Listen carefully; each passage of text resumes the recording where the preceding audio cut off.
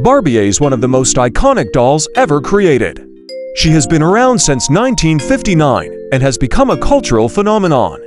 But where did she come from? Let's take a look at the story of Barbie. Barbie was originally created by Ruth Handler, a former journalist from Massachusetts. Handler had been struggling to come up with a new doll design for her company, Mattel, and was inspired by her daughter, Barbara. Barbie was born on March 3, 1959, and immediately became a sensation.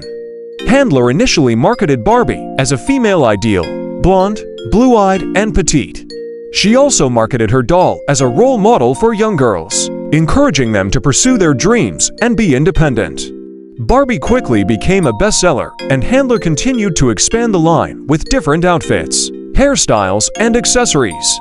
However, the success of Barbie did not go unnoticed. In the 1970s, concerns were raised about the sexist and narrow image that Barbie portrayed.